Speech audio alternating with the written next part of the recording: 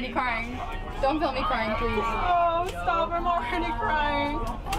Well, not really, but I'm about to. No, I am.